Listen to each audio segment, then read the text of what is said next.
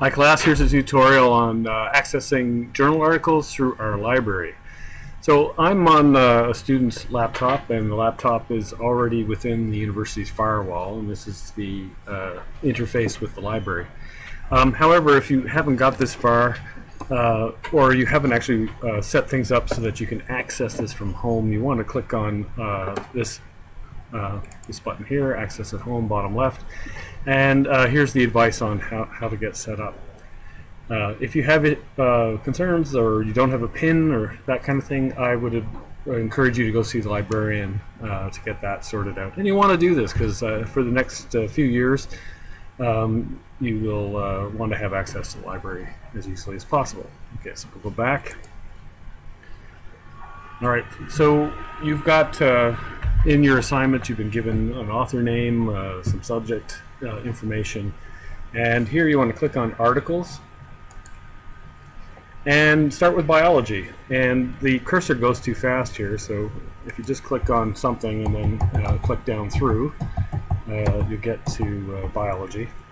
Click on Go. And here are the article indexes uh, that the university has available for us. Um, all of them are highly appropriate. Biological and Agricultural Index Plus, Biological Abstracts, Scopus. Um, but the one I've been using for a few years, so I'm comfortable with it, although the interface has changed uh, just in the last few months, is called the Web of Science. So I'll click on that. And so this is a this is going to allow us to go through uh, the journal articles of which the library uh, has uh, already paid for students and staff to have access to.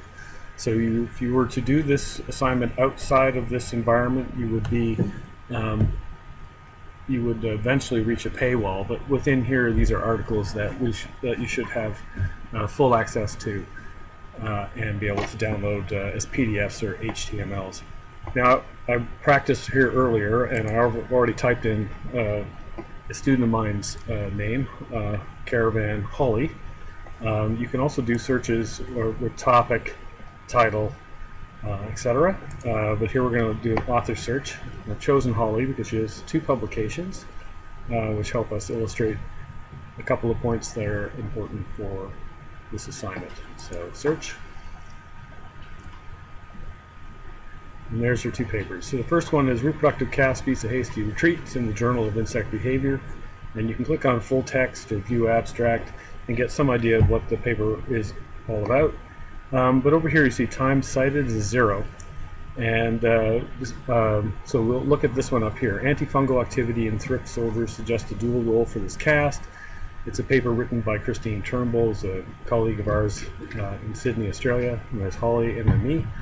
Uh, this paper uh, is in, in, a more high-profile journal, and uh, there are two other papers that have cited uh, ours as a our paper as an authority. So if we click on the paper, uh, we now have a summary of it. We have the abstract, keywords, uh, author information, that detail. We could also click on full text, and uh, we can also save it to our, an online uh, citation index like EndNote, um, but won't do that here.